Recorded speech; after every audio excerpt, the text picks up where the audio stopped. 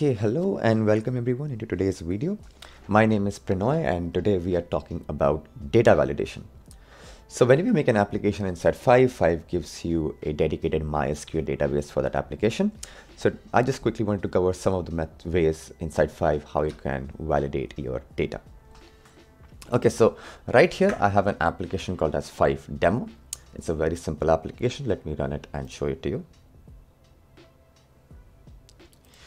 Okay, so when we open up the application, we get a terms and conditions page. We can click accept and then continue. And now when you open up the application, you are greeted with, greeted with our landing page. And then you have two menu items on the left, which is one for the managers, where they can view data sets and dashboards. They also can send server requests to a particular a customer about a particular property and then you uh, managers can also look at each customers who have tried to make a booking request for a particular property. Similarly, you also have a section for the customers where the customers get this form where they can select um, their, a particular property, let's say one Alexander Street, then they can write in their name, which is my name, which is Pranoy, then their city, then they can then they get this date and time picker to select the date and time for when they want to inspect the property. And then lastly they can write their email. Okay so a very simple application. So let's quickly exit from this and go back to our development environment Okay, going back to data validation. So the first technique that I wanted to talk about today was uh, using Five's built-in constraints to validate your MySQL data, especially when you're creating a table. So when you create a table inside Five, Five actually gives you a lot of built-in constraints through you, which you can validate your data. So let's quickly look at that. Okay, so now we are inside the development environment of Five. Now let's say that you want to create a table.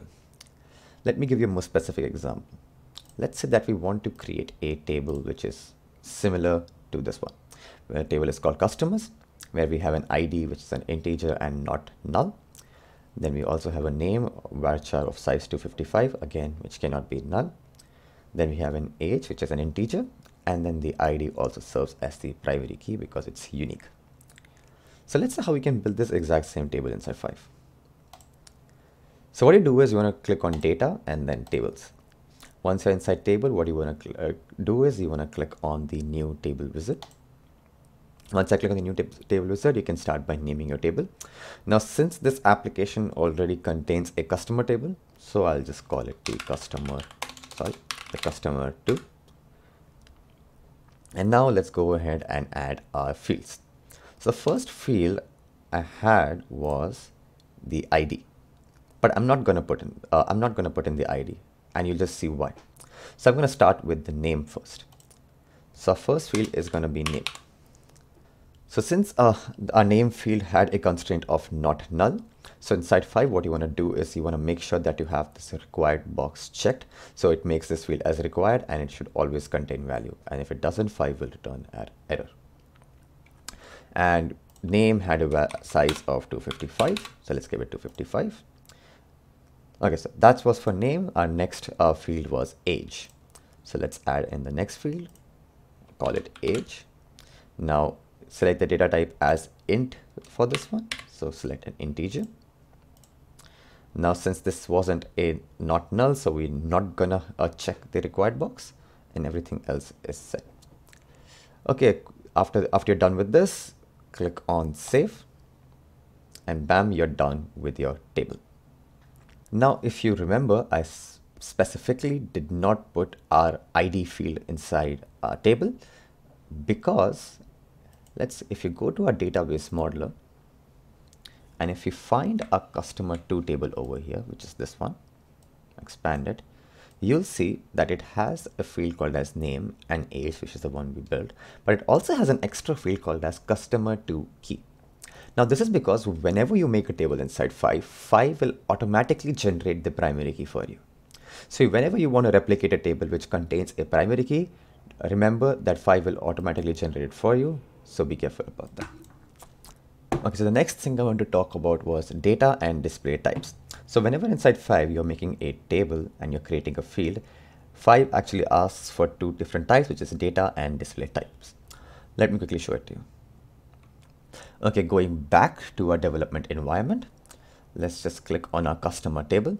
Once I've clicked on our customer table, click on fields. And after click on fields, you have noticed that you can see all of your fields inside this table. We have a customer key, customer name, booking time, property, and email. And you'll see that all of these fields, they have data types. A customer key, since it's a primary key, is a GUID. Then we have text, timestamp, another GUID, which is a foreign key for the property table, and then uh, email, which has data type of text. Let's say if you click on one of them, if let's say if you want to click on customer name. Okay, so see if you click on customer name, it has two different types, which is data and uh, display type. Okay, so data type basically tells us what kind of data is stored in our MySQL database. So basically a customer name is stored as a text in our MySQL database or a varchar, which is the same. While the display type tells us how the data is going to be displayed into our end user application. Okay, for example, let's say that we want to change the display type of a particular field inside this uh, process. So at first we have a field which let's select our property and then we get type in our name, then our city. So then we have a data time picker and then we have a last field it takes in our email. Now let's say that we want to change the display type of this last field, which is the email. Let's see how we can do that. So if we minimize our application, and now if we go back to our process, which is called as the booking request process, now select the email field. Now inside the email field, you'll see that you have something called as display type. And here it's text. So you can change it to anything you want.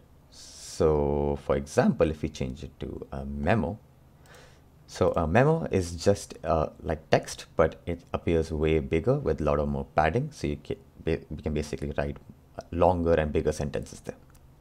So if we change it to memo now, and we click on save, and we click on save again.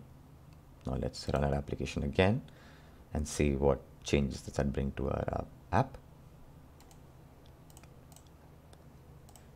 Now if we go back to a booking request, let's quickly fill in this form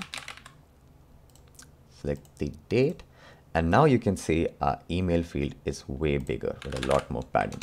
That's because we have changed the display type and now it looks different in our end user application.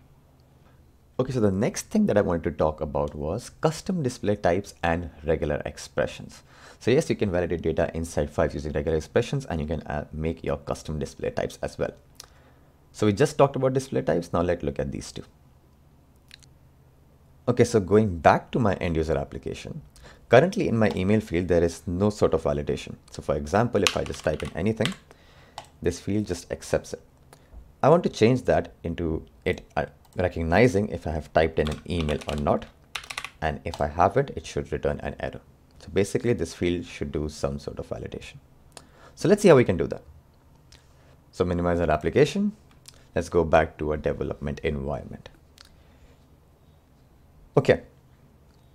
So in order to make a custom display type, you want to click on setup and here you have an item called as display types.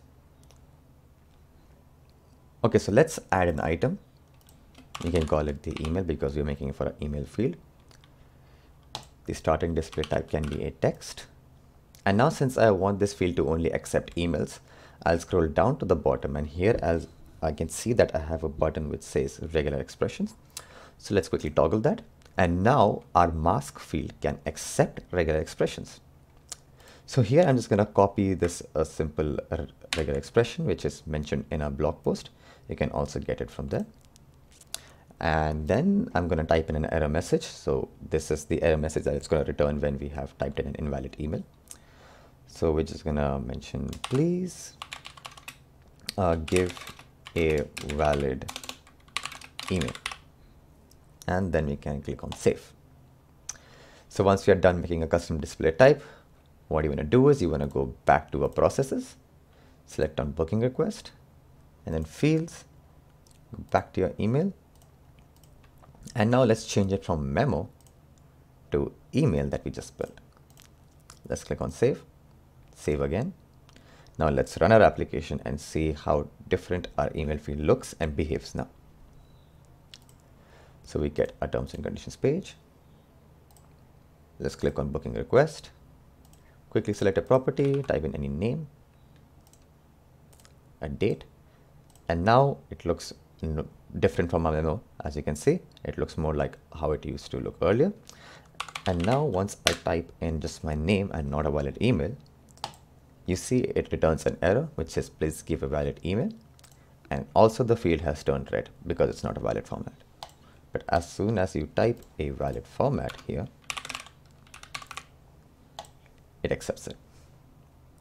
Okay, so that's how you can use custom display type and regular expressions for your data validation.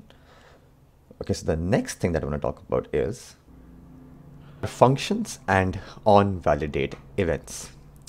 So of course you can write full code JavaScript and TypeScript functions inside Five, but you can also use those functions to validate your data. Let me show you how. Okay, so going back to our development environment. So if you click on logic and then you click on code editor, then Five opens a full code editor. Here you can add a new code, which uh, basically you can name in anything you want, and then select a language. But for this video, I've already written a very simple function, which I've just called validation. So what this function does is, is that it takes in the customer name from our process and stores it inside this variable. And just a simple, very simple example function, which if the name is not 5, then it will return a message which says that the user is not 5. Otherwise, it will return a message that hello 5.go. So let's see if such a simple function works or not. So we can save it. Let's go back to our process. Click on booking request and then fields. Now, since it was a validation for a customer name, so let's click on customer name. So inside customer name, after you're inside general, click on events and here you'll see that you have an event which says on validate. So let's quickly attach our function which is we just made called as validation and click on save and let's click on save again. Let's run our app and see if validation works or not. We quickly exit terms and conditions. We quickly go to a process and the customer name. So if we type in 5 and we exit out, we get a message, hello 5.go. But if we type anything else, let's say if we type a message Pranoy, now we get user is not 5. So yes, with such a simple function method, you can use your full code, your custom functions to validate your data into whatever sense that you want. Okay, so the last thing that I wanted to talk about was permissions and access control. So these are when your application is a multi-user application and you want to give certain permissions to certain users and uh, certain per per different permissions to different roles. So let's see how we can do that. So again, going back to our development environment. So first things first, we need to make our application into a multi-user application. So you can do that by clicking on applications Five demo over here. And now click on the edit button for your app. And here you'll see that you have this little tab called as multi-user. So just go ahead and toggle that and click on save. And now your application is a multi-user application. So you now click on manage and now run your app again. So now once you make your application into a multi-user app, Five actually makes two default roles for you, which is one is the admin and the other is the public. Right now what you want to do is you want to set up an password for your admin account. So you can do that by typing in admin and admin in the password and then clicking on sign in. And now Five prompts you to update your password. So now you can type in any password of your choice and then click on update password. Navigate your terms and conditions, continue, and now you're inside your application as an admin user. Okay, so let's see how we can make, how we can assign different permissions to different roles. So let's first create a new role and you can do that by clicking on setup and then roles. Here you'll see this app already has um, a particular roles, which is management, agent and standalone. So let's make a role for our customer. So you can do that by adding an item and you can just call it the customer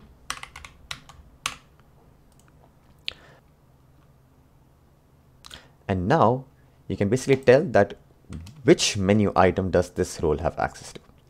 So we know that this menu item has access to the customer menu item. And now you can pretty much see everything has empty. And on the bottom, you can give this particular role the default permissions for create, read, update, and delete. So I'm just gonna give it uh, default permissions to create, read, update, and delete. I'll just give it everything. You can also click on permissions here and assign CRUD permissions for each and every table. So basically this role can have different CRUD permissions for different tables.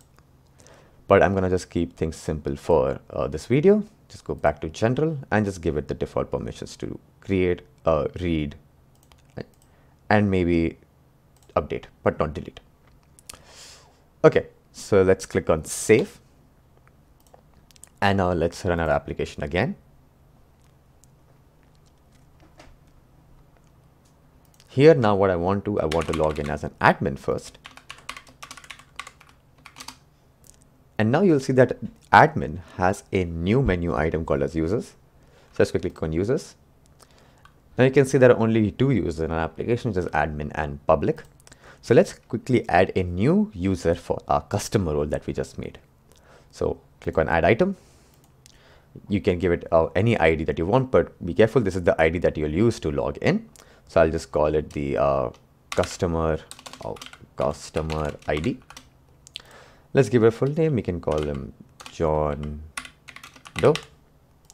Let's give him a dumb email. I'll call him John at the rate doe.com. I can leave the phone number as empty as it's not required. Let's give it a password. And now let's assign the role that we just made, which is the customer role. Let's click on save and you're done now. What you want to do is you want to click on this avatar icon over here and click on logout. And now let's log in as a customer. So we name the customer ID and type in the password. And now we are inside our application and bam, you can only see that the customer um, role only has access to the booking request and nothing else because the customers only need to fill in the uh, booking request and the rest of the menus are for admins and ma managers. Okay, so that was some of the ways how you can validate your data inside Five. Hopefully this video was useful and if you liked it, make sure to subscribe for our future videos. And till then, um, see everyone and thank you.